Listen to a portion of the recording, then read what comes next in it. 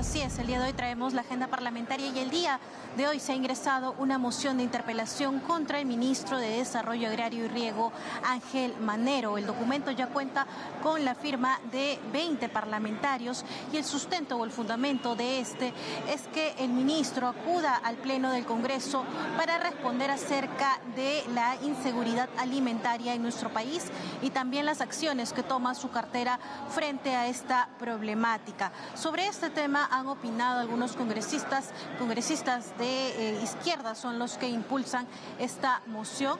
Tenemos la opinión de la congresista Margot Palacios. Escuchemos.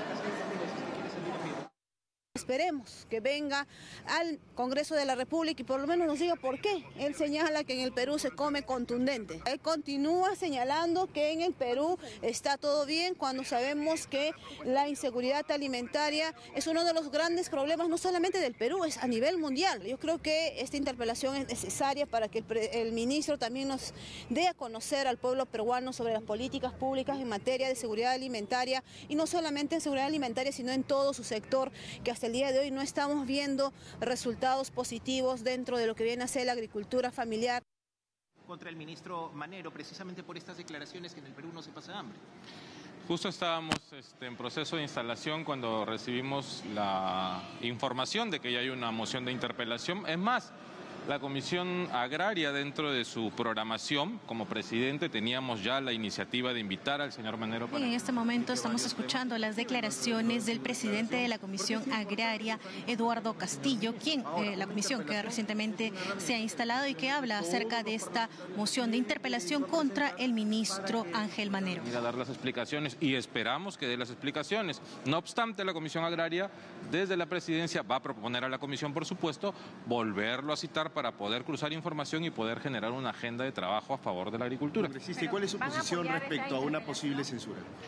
Eh, mira, eso lo tiene que plantear el señor vocero de mi bancada porque nosotros hacemos voto de manera unánime como bancada. ¿no? Desde la presidencia de la Comisión Agraria estaba programada ya la, la, la propuesta de darle a la comisión la citación al señor ministro para que explique no solamente esos temas que están en la sobre la declaración del señor ministro, sino también otros temas, otros datos que necesitamos cruzar para generar un cronograma de actividades dentro del periodo de trabajo que vamos a tener. Estamos en vivo para TV Perú Noticias. Precisamente usted lidera la Comisión Agraria y qué política se va a manejar desde este grupo de trabajo para contribuir a la seguridad alimentaria en nuestro país, además también la política nacional. Todos hemos coincidido, creo yo, desde que iniciamos eh, y e hizo el uso de la palabra, luego he escuchado a los demás colegas que eh, fortalecer, impulsar la agricultura familiar es primordial.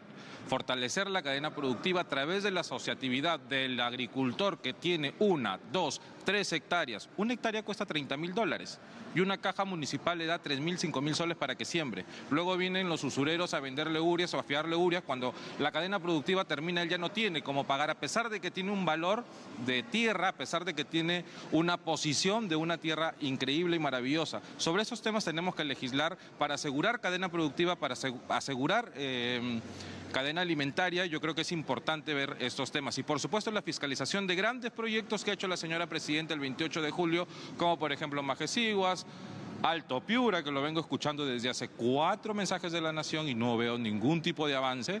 Por ejemplo, eh, Chinecas, vamos a fiscalizar y vamos a monitorear todos estos proyectos. proyectos usted mencionaba y hay, se presentan proyectos de diverso aspecto.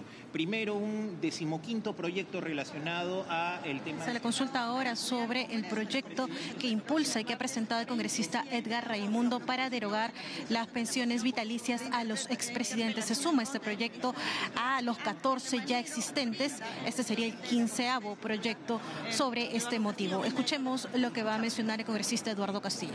Bueno, lo de Marta Moyano sí es urgente revisar porque ya la próxima vez eh, tendríamos, que, tendríamos que instalar ya la bicameralidad con Cámara de Diputados y, senadores y habría que revisarlo de manera inmediata. En cuanto a la... Eh, a los 15 proyectos, ¿no? Los 15 proyectos de derogatoria también habría que revisarlo, yo no creo que, que tenga algo de malo. Eh, siempre hemos dicho, Fuerza Popular, ya hemos fijado posición nosotros, estamos de acuerdo a que si cumple con los requisitos o los procedimientos administrativos, los expresidentes tienen que recibir su, su, pensión vitalicia. Es una alta investidura que creemos nosotros tiene que seguir recibiéndola siempre y cuando cumpla con los procedimientos administrativos. Como Fuerza Popular. El presidente del Poder Judicial